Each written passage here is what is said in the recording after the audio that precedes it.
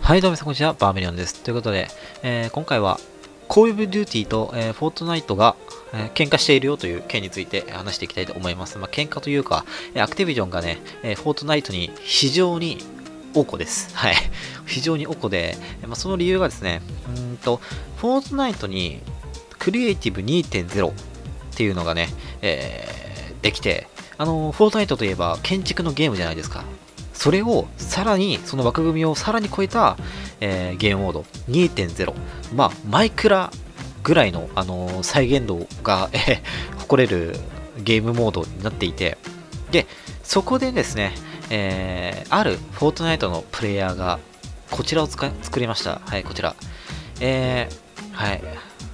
で、これは何かというと、MW2 のマップですね。初代 MW2 のマップです。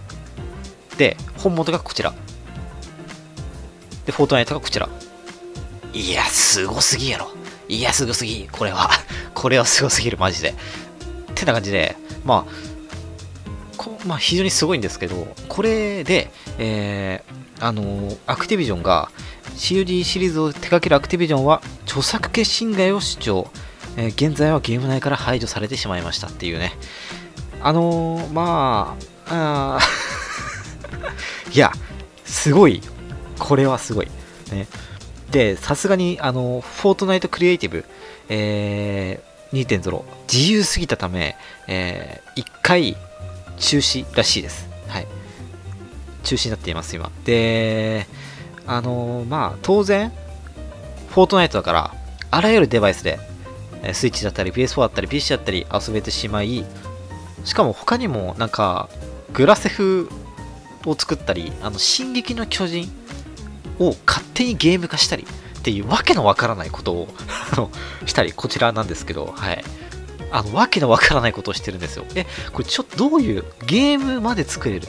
そのゲームの中でゲームまで作れてしまう、えー感じなのかなという感じで、まあ、非常にすごいんだけど、あので、これですね、超人気で、3月末に同説プレイヤー150万人突破っていう、まあ、正直、フォートナイトって、昔よりは流行ってないっていうね、えー想像だったんだけど、まさかのこれで150万人、とんでもない数字ですね。はい、とんでもない数字。ね、今の今の COD からじゃ予想もできない数字ですね。はい、でね、えーまあ、この COD フォートナイトも、ま、排除されて、えーまあそうですね、他にも Call of Duty のみたいなコンテンツがたくさんあったんだけど、それも全部排除されましたと。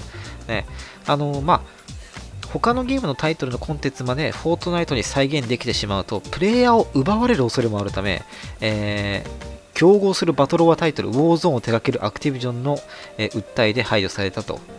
はい。あのーそうですね。うん。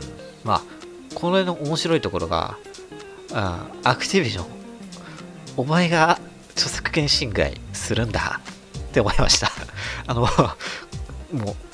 う、ね、初代 MW2 のマップを、ね、そっくりに作られた。これは著作権侵害だ。はい。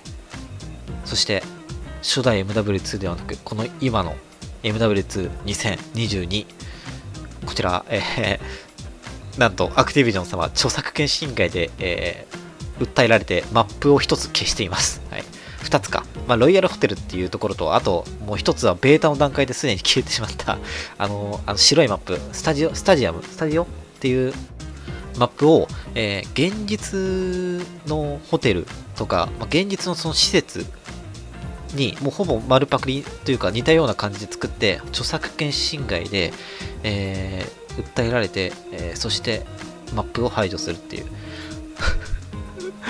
ああお前も同じことやっとるやん。ね。しかもなんだろうこれはこれはねフォートナイトはフォートナイトがやったわけじゃないんですよ。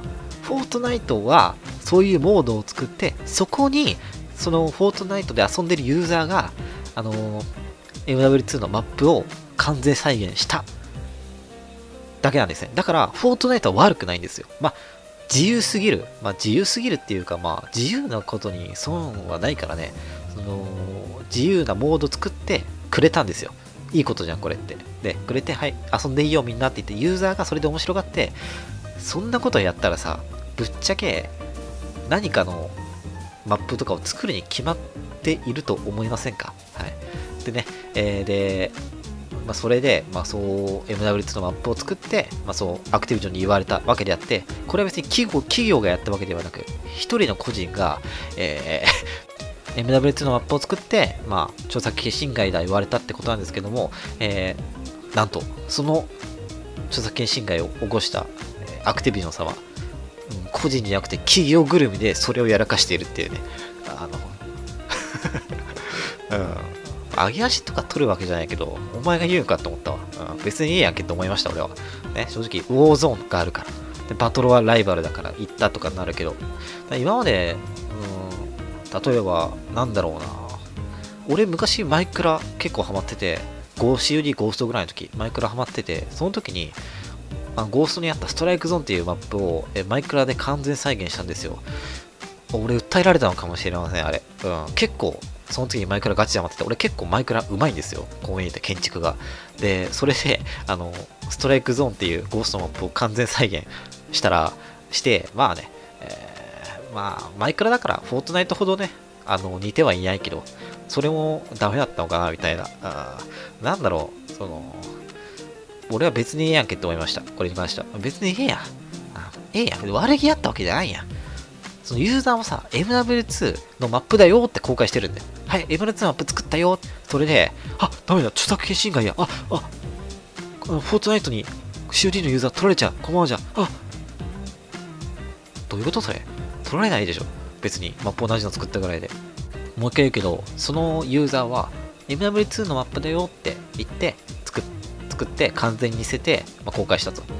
隠してはないじゃん。でも、この MW2 はあのね、このホテルはどこどこのホテルの真似をしました。この施設はどこどこの施設を真似しましたとか何も言わずに勝手にマップにして、あ、あのな、勝手にマップにして で、訴えられて、はい、マップ消えます。はい、ベータにあったマップ消えます。お前らの方が悪質やろ、どう考えても。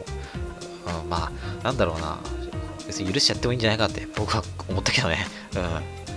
なんか、で、この訴えを起こしてるのがアクティビジョンだけなんですよ。ね、ま、進撃の巨人とかゲームとか、他のね、ロックスターのゲームとかいろいろ、あったけど、えー、訴えをし訴えを起こしてるのアクティビションだけなんですよ。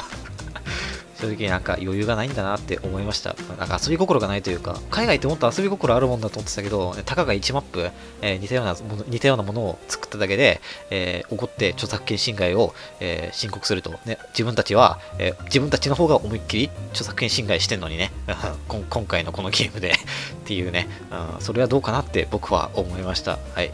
ということでね、まあ、今回はこれで終わりたいと思います。まあ、フォートナイターのモード150万人も同説いるんだから面白そうですね。皆さんもぜひやってみましょう。はい、終わります。